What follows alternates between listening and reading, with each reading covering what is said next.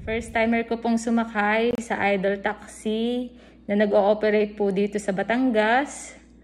Uh, and the destination po dito sa Batangas, naghahatid po sila. Pwede po kayong mag-booking sa Gmovers app or sa Facebook page po nila, Idol Taxi. Napaka-accommodating and very friendly po ng mga taxi driver. I-assist po kayo sa mga katanungan ninyo. Very affordable po yung kanilang presyo.